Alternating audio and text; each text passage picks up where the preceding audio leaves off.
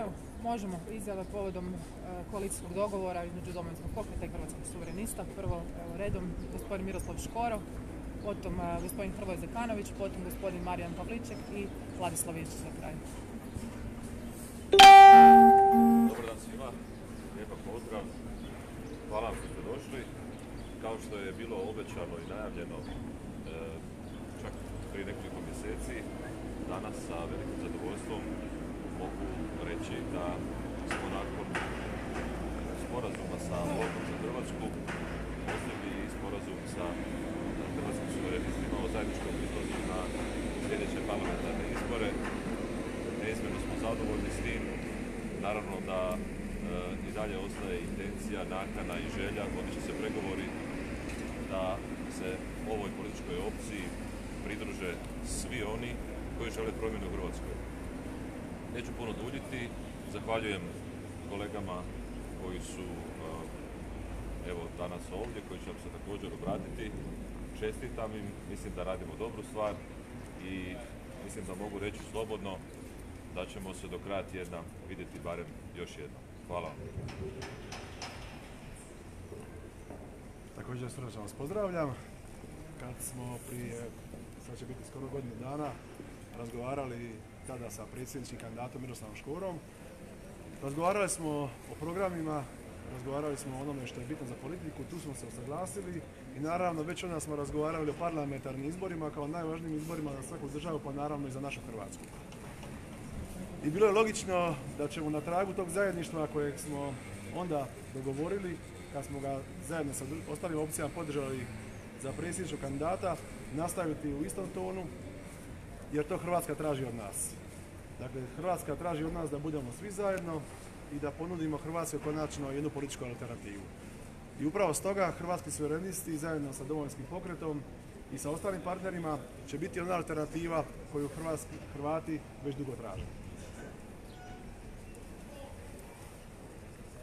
Evo ja e, želim u ime Hrvatskih suverenista, u ime Hrvatske konzervativne stranke izraziti zadovoljstvo što smo potpisali ovaj koalicijski sporazum o zajedničkom izlasku na parlamentarne izbore. E, evo, nakon 20 godina rasjepanosti ovog istinskog domoljubnog suverenističkog spektra, po prvi puta se hrvatskim građanima nudi jedna zajednička politička opcija koja će biti alternativa kako lijevim, tako i desnim e, političkim elitama i prvo želim zahvaliti kako gospodinu Škori, tako i svim svojim kolegama.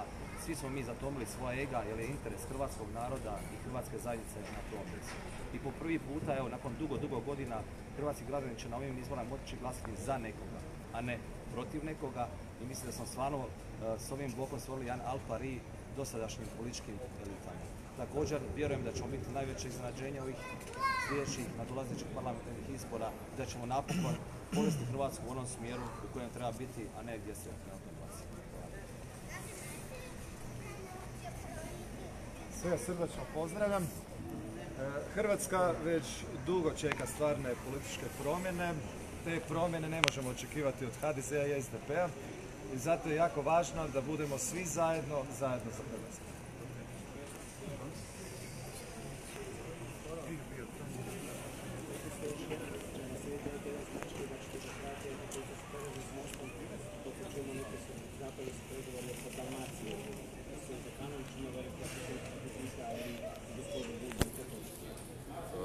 Ne, nisam mislio na to, mislio sam na činjenicu da ćemo se vidjeti zbog toga što ćemo definitivno potpisati uh, barem još jedan sporazum. Ja se nadam i dva, ako ne i tri, ali jedan sigurno. Nisam mislio pri tome na most. Niste zapeli s njima pregovorima? Nismo zapeli, da pače, pregovori se vode, uh, zbog toga što je ipak u slučaju mosta uh, situacija takova da su oni parlamentarna stranka sa deset saborskih zastupnika. Moramo postići jedan malo sveobuhvatniji dogovor e, i moramo uvažiti daleko više čimbenika nego što su bili ovaj, čimbenici kada smo pregovarali sa, na primjerice sa suverenistima. Dakle, to nije bilo problem. Znači da vas je puno, pa onda ne mogu tražiti tako previše sad. Prostite? Kako vas je previše u koaliciji, ne mogu oni imati prevelike apetite. Ne, ne, ne, ne, ja sam samo rekao da znači pregovori su proces, ništa drugo. I u tom procesu s nekima ide brže, s nekima ide malo sporije, ali e, to su već kvantitativni problemi, nisu kvalitativni. Mi ćemo ih prevaziti. Možete reći između ostalog, rekli ste da će biti još dva popisa, radili su tu s gospodinom Srenom i s kim još pregovarate, s kim ste zapravo najduže došli pregovorima? Kako su pregovori u tijeku, nije dobro da otkrivam detalje, osim toga e, ja mislim da se hrvatska javnost u zadnje vrijeme e, informira i veseli svim onim što mogu pročitati u medijima. E, Ja bih ostavio onima koji špekuliraju, koji pišu i koji na neki način predviđaju, neke i dalje gledaju kristalne kugle. Ne bi volio ugroziti pregovore na bilo koji način, a, a na, nekakvom nespotrebnom e, izjavom. Mi razgovaramo sa svima kojima je dosta ovog duopola HDZ i SDP-a i koji bi htjeli napraviti one nužne reforme koje narod hoće i to nije nikakva floskula, nije nikakav populizam, nego stvarna želja. Svi oni koji su dobro, svi oni koji žele to su dobro došli. Oni kojima nije osobni interes ispred interesa e, e, onoga što u političkom smislu hrvatski narod treba. Sam gospodin Penava je potvrdio da je u pregovorima s vama, a mislim da bi voljeli vidjeti u svom timu, o čem će to ovisiti? E, Gospodin Penava prije svega mora razriješiti svoj formalno pravni status u stranci u kojoj se nalazi. Dok se to ne dogodi, e, ne bih ništa komentirao. Ja vjerujem da će on kao odgovoran čovjek i odgovoran političar sa iskustvom definitivno ispoštivati hodogram koji je nužan u tom slučaju. To je jedan od potpisa do kraja tjedna, ako bi bilo sve i na vašem slučaju s Penavom. Nisam ni na taj potpis mislio. ne. To je jedan od. Ja, ja ću, kad bude to došlo vrijeme, onda će vas gospođa Čolak, Čolak kao i svaki puta nazvati i sakupit ćemo se i vidjet ćete. Kako je, e, pojavila se opcija, odnosno vjerojatnost da na izbore zajednički izađu Tomislav Karamarko i Bruna Esih. E, Jesu li to vaši budući, ako izađu tako, budući partneri ili konkurencija? Ne bih to komentirao, kada se to bude formaliziralo, onda možemo o tome razgovarati kompetentnije. To su sve nagađanja, ne bih u tim nagađanjima ste otvoreni za tako. Apsolutno. I njima su otvorena vrata. Ja sam rekao, to je zadnji puta, svima su otvorena vrata, svim ljudima koji žele staviti interes Hrvatske države ispred osobnog interesa i svim onim ljudima kojima je dosta duopola, i to mislim na ljude e, kojima je dosta duopola ove vrhuške, kojima je dosta e, žetončića, kojima je dosta pretrčavanja, kojima je dosta neprincipijelnih koalicija, kojima je dosta briselskih i drugih interesa. Dakle, danas ovdje jesmo zbog toga što stvarno imamo razlog slaviti e, na neki način ta politička opcija okrupnjava. S druge strane, ja sam očekivao da ćete pitati, ne znam, očekuje se smanjenje plaća policajcima, kreativna industrija trpi, danas smo prvi dan otvorili kafiće, ima toliko tema. Ono što je za mene bitno, bitno je da smo se dogovorili sa Hrvatskim blokom, bitno je da smo se dogovorili sa Hrvatskim suverenistima, a ovo drugo sve bit ćete na vrijeme izvješteni i neće ništa biti učinjeno protiv interesa onih koje mi zastupamo, a mi prije svega želimo koaliciju sa hrvatskim narodom i to će se dogoditi. Budite uvjereni.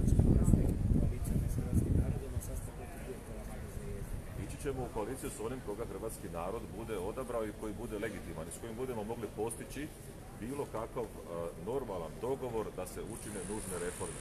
To će biti naš minimum. Bez reformi koje moraju nastupiti, ja bih rekao, iz, istoga trenutka nećemo moći razgovarati ni sa kim. Svako onaj ko bude i dalje štitio svoj parcijalni interes i smatrao da su izbori i da su ti rezultati izbora pokriće za još četiri godine nerada, nećemo s njima razgovarati i mislim da to treba... Oko kakvog se programa okupljate? Postoji li već program ili su ovo samo Je, pregovori? program je dostupan. Ja sam ovaj, e, zamolio svoje kolege da stave na internetsku stranicu e, Domovinskog pokreta. Mi smo po- potpisali is- i koalicijski sporazum u kojemu smo taksativno naveli one točke oko kojih e, se slažemo i točke koje su zajedničke. Tako da, eto, to je to. Je to. Znači koaliciju sa HDZ-om ne. Ne bih tako daleko spekulirao, to je Ako predaleko. vam SDP ponudi velike reforme i promjenu zemlje, tu bi koaliciju prihvatili. Ne bih to komentirao iz jednostavnog razloga što idemo predaleko. Prije svega moramo nastaviti razgovarati sa svim mogućim potencijalnim koalicijskim partnerima, to je broj jedan. Broj dva je moramo stvariti dobar, ja se nadam i vjerujem, čak izvrstan rezultat na izborima, a potom ćemo, ne bih ni s tim spekulirao. Mislim, bilo bi najsretnije da ostavimo 76 mandata, onda mogu garantirati hrvatskom narodu da ćemo napraviti promjene. Sve drugo će biti stvar dogovora, znate bolje od mene da je politika umijeće moguće. Prema tome, napravit ćemo sve što možemo da zaštitimo interese svih onih ljudi koji do sada nisu imali svoje predstavnike da štite njihove interese. Mi nećemo štititi stranačke interese, mi ćemo štititi interese e, onih koji će nas izabrati. Normalno kada se dogovaraju koalicije, predizborne se dogovaraju i mjesta na listama, a što ste točno dogovorili sa suverenistima? Dogovorili smo se tako da su svi zadovoljni. Što to znači? To znači da su svi zadovoljni, a kada budemo formirali koaliciju do kraja i kada budemo predavali te liste, onda ćemo ovaj, pokazati ko je na kojem e, mjestu. Kolege su sada tu, E, ja sam siguran e, da su oni zadovoljni, mi smo zadovoljni, ali smo ostavili prostora da svako ko se bude nama htio priključiti, također može naći sebe na tim listama. Evo, toliko vam o tome mogu reći. Zekanović, možete mi odgovoriti da jedan problem u pregovorima s Mostom ste vi, je li oni imaju velike apetite u 9. i 10. ali vi isto? Ja sam puno puta govorio kolegama iz Mosta, to su časni ljudi, dobri zastupnici i oni su, kao što je gospodin Škoro rekao, ja ću potvrditi, dobrodošli su u ovu koaliciju, u zajedničku priču i gospodin Škoro siguran sam da će to odraditi maksimum da budemo svi zajedno. E, onaj ko bude zajedno u ovoj priči, taj je pobjednik, on je alternativa buduća u Hrvatskoj, onaj ko bude ovaj, izvan priče, narod će ga kazniti jer narod ovaj put stvarno želi zajedništvo. Pitanje za gospodina Škoru. E, Nino Raspudić i skupina ljudi oko njega. Je li on čovjek kojega vidite u svojem timu ili su to samo glasine? Razgovarao sam s Ninom Raspudićem ne jednom, više puta, poznajem ga osobno e, i mislim da bi takav jedan čovjek jako dobro došao ovoj koaliciji. Mislim da bi to bio veliki plus za našu priču, međutim on se mora odlučiti hoće li se e, baviti politikom. Ako se odluči na to, uvijek je dobrodošao. Vaši prijatelji poput e, gospodina Pervana, Mlikote, idu li oni na liste ili to sve samo naklapanja? Hvala vam na tom pitanju, da, čitao sam nešto u medijima, E, to su prije svega moji prijatelji, s druge strane su članovi domovinskog pokreta, E, s treće strane e, to su vrlo dragi, inteligentni, sposobni ljudi. Kad se spomenuli recimo Vedrana Mlikotu, to je čovjek koji više napravi sa par stotina tisuća kuna u Zagvozdu za hrvatsku kulturu nego kompletno Ministarstvo kulture Republike Hrvatske sa par stotina milijuna godinu dana. Kad ste govorili gospodinu Pervanu, to je čovjek koji sam izađe na pozornicu i priča o svojim utiscima i onome što vidi oko sebe i zabavlja na taj način, ali i na neki način natjera na razmišljanje barem 2000 ljudi i u stanju je to napraviti nekoliko dana zaredom u koncertu dvorani Vacoslav Lisinski. Dakle, meni bi bila čast da takvi ljudi ostave svoje poslove i da se bave ovim poslom koji se zove politika. Nažalost, političari su u Hrvatskoj od politike napravili kaljužu i ja ne znam s kojim pravom bi itko smatrao da se politikom mogu baviti samo ti i takvi ljudi. Ja smatram da se politikom moraju baviti ljudi iz svih e, društvenih sfera i opet velim bio bih ponosan i da se gospodin Likota i da se gospodin Pervan žele uključiti u politiku. Međutim, radilo bi se o puno odricanja i radilo bi se o puno različitih situacija u kojima bi bili dočekani na nož zbog toga što ne dolaze iz interesa, nego dolaze svojom vlastitom voljom iz jednog posla koji definitivno jako vole. Još samo jedno pitanje. Ukoliko dođete u poziciju da korite vlast, e, jeste li spremni na rezanje u javnoj državnoj upravi? Pritom ne mislim na medicinske sestre, vatrogasce i učitelje. Mislim na prekomjeran broj. E, Mislim da sam ja u jednom od svojih obraćanja, e, obično to tako ide, ja snimim nekakav video u okviru mogućnosti, prostora i vremena u kojemu smo živjeli, posebice u proteklih nekoliko mjeseci i onda to bude dočekano s nekakvim podsmjesima, ali u jednom od takvih obraćanja e, ja sam upravo to i izgovorio, čak sam rekao da sam spreman preuzeti odgovornost za taj jedan vrlo nezahvalni proces koji je pred nama. Nisu svi ljudi koji rade u državnoj javnoj upravi e, ljudi koje možemo nazvati uhljebima. Ja bih rekao da većina to nije. Međutim, upravo oni najbolje znaju koji ljudi među njima su tamo pro forma da bi ono, ispunili nekakve političke i partijske kvote. E, upravo oni znaju koji su tamo ljudi koji rade, koji trebaju i koji ne trebaju. I na tom tragu, a ne, reforme su nužne, mi moramo doći u situaciju da stvorimo jednu realnu situaciju da realni hrvatski sektor, da hrvatski poduzetnici mogu na neki način slobodno disati, slobodno raditi i privređivati dovoljno novaca da onda imamo jednu kvalitetnu, učinkovitu državnu upravu, da imamo kvalitetni, učinkoviti javni sektor. Međutim, to je proces koji je pred nama i koji ćemo mi definitivno, kada budemo u poziciji, obaviti jer e, smatram da to ni HDZ, ni SDP, ni njihovi trgovački partneri ne mogu napraviti jer se radi o njihovim ljudima. Svoje se meso ne jede. Tako da e, taj proces ćemo napraviti, pokrenut ćemo, potaknut ćemo, izvršit ćemo ga do kraja. Možete mi konkretno sad jednog stolu postupak da se opozovu ovi ugovori, poboljšanja za javne državne službenike, da li bi vi njima uskratili ono što su dogovorili ili im se treba isplatiti? definitivno ako je nešto dogovoreno, pogotovo e, zahvaljujući činjenici da je u proteklih nekoliko godina bila situacija gospodarska ko- ko- koja je i da su ti ljudi podnijeli e, određeni teret, treba ispoštivati to što je s njima dogovoreno. Ali isto tako ljudi moraju znati da e, je u proteklih nekoliko tjedana, ja bih rekao, država, odnosno vlast, odnosno vlada Republike Hrvatske potrošila jednu silinu novaca jer je prihvatila model e, kakav je prihvatila, odlučila se za taj model i samim tim je dodatno Hrvatsku zadužila. Ne možete vi e, funkcionirati, to ne može niko od nas, e, ni doma, ukoliko se zadužuje. Ono što ste uzeli kao kredit morate vratiti, a da bi vratili morate negdje uštediti. Nažalost, oni štede na krivom mjestu, oni štede i žele štediti stalno na plaćama radnika. Nisam za to. U redu ove potpore koje se daju gospodarstvu i osobno, znate da je velika većina njih to primila. Da li mislite da trebaju svi primati te potpore ili te oni koji primjerice isplaćuju se dobiti dividendu, da trebaju se uskratiti, da država ne smije isplaćivati?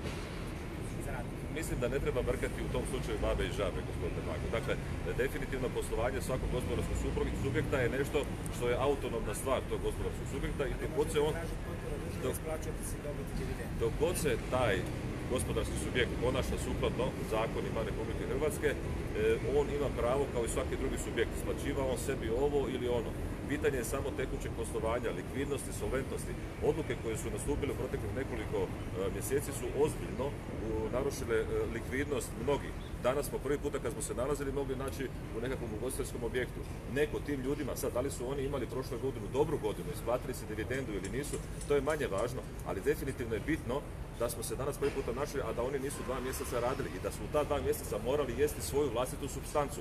To što im je država dala i na što vi aludirate, to je minorno. Dakle, e, većina gospodarstvenika i poduzetnika u Hrvatskoj je iskoristila tu povlasticu zbog toga, kao što sam i sam, da bi možda osigurao jednu četvrtinu onoga što mi treba da bi zadržao e, ovaj, svoj pogon e, na način da ne radim apsolutno ništa, odnosno da ne radimo ništa, a da pri tome izvršavamo obveze prema radnicima. Mislim da su u ovom slučaju poslodavci bili daleko korektniji nego država. Ponovo, još jedno. Samo ako sklopite koaliciju s bilo kim, vi ćete onda biti zamjenik premijera u toj situaciji. Ne, premijer. Premijer. Ja ću biti ono što ćemo se dogovoriti. Ne bojim se, ja se ne bojim e, nikakvog mjesta, niti se borim za njega. Dakle, ono što se, ja, ja se borim za Ti možete situaciju, premijera ja smatram da se treba boriti za to da danas sutra živimo u zemlji u kojoj svako od nas kada privređuje i radi bude nagrađen za svoj rad. Mislim da se za to treba boriti. A s kojeg mjesta? Ja sam se za to borio i kao pjevač, i kao skladatelj, i kao poduzetnik. Dakle, sasvim je svejedno što ko je, bitno je kako radi i što, što, što čini. Djela govore daleko više od riječi, a spekulirati na taj način da će neko biti ovo ili ono, što se mene tiče, to meni nije ovaj, primarno. Osim toga, ja i kad sam bio u Saboru prije 12-13 godina ja nisam uzeo svoju plaću. Dakle, meni nije primarna stvar plaća, pozicija ili bilo što drugo. Meni je primarno to da možemo danas sutra razgovarati o tome da u Hrvatskoj postoji jedan sustav u gospodarstvu u kojemu ne moraju svi plaćati recimo gospodarskoj komori članarinu ako neće. Evo to vam je primjer. Možemo još kratko još komentar, vidimo da Zoran Milanović je dosta oštro reagirao na Orbanovu kartu koja prikazuje veliku Mađarsku. Kako vidimo?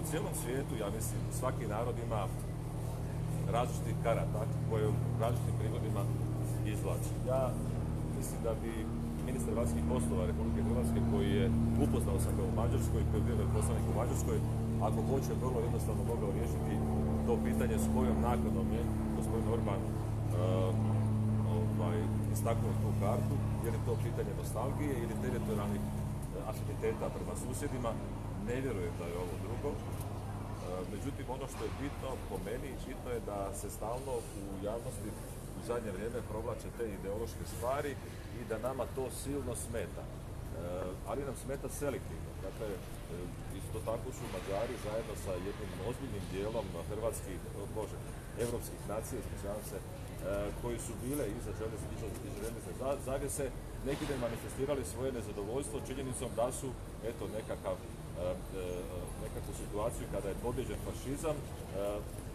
naslijedile nekakve komunističke snage koje su potom činile velike zločine 40-50 godina, da su to narodi gdje i dan danas se ljudi ježe na spomen, ne znam, Envera, Hođe, Honekera, Čaušeskova. Jedina zemlja u Sloveniju koja se nije pridružila izjavi u tom smislu je bila Hrvatska. Mi smo zemlja koja bi trebala definitivno u tom smislu rašiti s nekim stvarima. Morali bi vidjeti mi e, e, puno važnije stvari kao što je pitanje komunističkih zločina, kao što je pitanje tih totalitarnih režima, a ne se baviti činjenicom da je neko objavio nekakvu kartu vremena iz kojeg je objavio, o, puno je važnije što se čini sada i što se čini prema ovoj bližoj povijesti. Čini mi se da u tom smislu smo jako selektivni, da nekim ljudima to jako smeta. Gledam i čitam, e, gospodin Pupovac izjavio isto tako nešto vezano za suradnju s nama, što meni govori da se radi o jednom vrlo isključivom čovjeku koji a priori neke stvari odbija. Ja nikad u životu s njim nisam sjeo, popio piće, niti razgovarao. Dakle, a priori odbijanje po meni nije dobro, u politici isključivost nije dobra, e, selektivni pristup nije dobar i tako da u tom smislu e, mislim da gospodin Orban dobro vodi Mađarsku, mislim da daje e, rezultate zajedno sa svojom vladom i da su ljudi u Mađarskoj zadovoljni.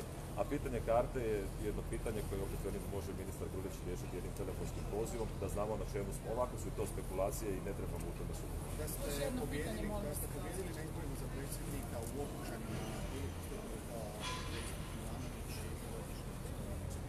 Ni za Boga. Ja bi ostao tamo. I ne bi zakon Ne bi zakonom zabranio insignije posao. Nikako. To je zakonom regulirano i nema razloga da se taj zakon mijenja. To smo razgovarali više puta. Hrvatske oružane snage su legitimna postrojba Hrvatske vojske. Ako neko ima to namjeru i želju mijenjati, ja bih volio da to kaže odmah, a ne kad dođe na vlast izvoditi koje kakve krivine i igrokaze. Prema tome, u tom smislu smo mi, ja se nadam, svi vrlo unisoni. Evo, samo još za kraj, gospodin Pavliček ima još samo jednu stvar za reći, pa. Pa evo, gospođa Ruža Tomaš kao jedna od najbitnijih karika Hrvatskih suverenista, danas nažalost zbog osobnih razloga što se nalazi na otoku Korčuli nije mogla sazvati ovoj tiskovnoj konferenciji, ali će se tijekom dana na društvenim mrežama obratiti široj javnosti i Hvala vam. Hvala lijepo. Hvala lijepo.